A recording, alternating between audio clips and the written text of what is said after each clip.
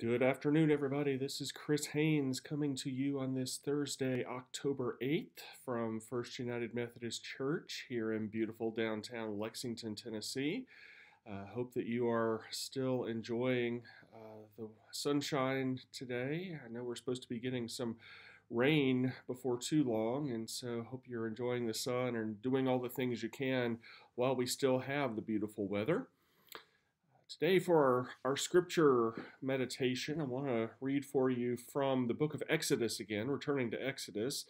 And this ties into uh, what we've been talking about. This last Sunday, we talked about the Israelites receiving the Ten Commandments. And this is an extension of that as they continue to receive the fullness of God's law. And it also kind of points to what we're going to be talking about in a couple of weeks and, and be reflecting on the, uh, the people's experience with the glory of God and how sitting in God's glory can be exciting and uh, an awe inspiring, worshipful experience, but it can also be uh, maybe more than a little bit scary sometimes uh, when we experience God directly. So, uh, keep all of that in mind as I read for us uh, from Exodus chapter 24, beginning with verse 12. The Lord said to Moses, Come up to me on the mountain and wait there, and I will give you the tablets of stone with the law and the commandment, which I have written for their instruction. So Moses set out with his assistant Joshua, and Moses went up into the mountain of God. To the elders he had said, Wait here for us until we come to you again, for Aaron and Hur are with you. Whoever has a dispute may go to them. Then Moses went up on the mountain, and the cloud covered the mountain. The glory of the Lord settled on Mount Sinai, and the cloud covered it for six days. On the seventh day he called to Moses out of the cloud. Now the appearance of the glory of the Lord was like a devouring fire on the top of the mountain in the sight of the people of Israel. Moses entered the cloud and went up on the mountain. Moses was on the mountain for forty days and forty nights. This is the word of God for the people of God. Thanks be to God. It's another interesting little detail there at the end. Whenever we see the number 40 uh, in the Bible, that's a number of fullness or completeness or signifying a, a long period of time. Uh, the Israelites wandered for 40 years in the wilderness. Moses was up on the mountain for 40 days and 40 nights. And so uh, he, he saw uh, something of the glory of the Lord up on the mountain. And I hope that you can think about how you see God's glory coming to you today. Sometimes it looks like it's hidden by a cloud, and sometimes it feels like it's as direct as anything we can experience. But I hope you can see a glimpse of God's glory in your life today.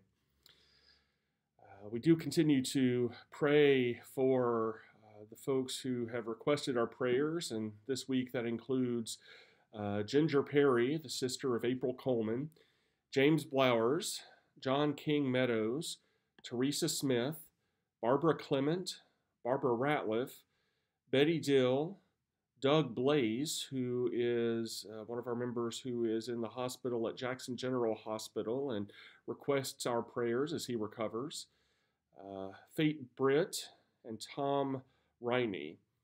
We also continue to remember family and friends following the passing of Alan Fessmeyer, the passing of James Powell, and the passing of Joyce Ward, who was the aunt of Ann Anderson. Let's join our hearts together now as we go to God in prayer. Almighty and everlasting God, you are always more ready to hear than we are to pray, and to give more than we either desire or deserve. Pour upon us the abundance of your mercy forgiving us those things of which our conscience is afraid, and giving us those good things for which we are not worthy to ask, except through the merits and mediation of Jesus Christ our Savior, who lives and reigns with you in the Holy Spirit, one God forever and ever. Together we pray for the people of our congregation. Lord, in your mercy, hear our prayer. For those who suffer and those in trouble, Lord, in your mercy, hear our prayer. For those who strive for justice in our world, Lord, in your mercy, hear our prayer. For all workers as they go about their appointed tasks, Lord, in your mercy, hear our prayer. For our government leaders, national, state, and local, Lord, in your mercy, hear our prayer. For the Church Universal, its leaders, its members, and its mission, Lord, in your mercy, hear our prayer. For the communion of saints in every time and place, Lord, in your mercy, hear our prayer. As part of the body of Christ together, we are bold to pray using the words that Jesus himself has taught us, praying together Our Father, who art in heaven, hallowed be thy name. Thy kingdom come, thy will be done, on earth as it is in heaven. Give us this day our daily bread, and forgive us our trespasses as we forgive those who trespass against us. And lead us not into temptation, but deliver us from evil.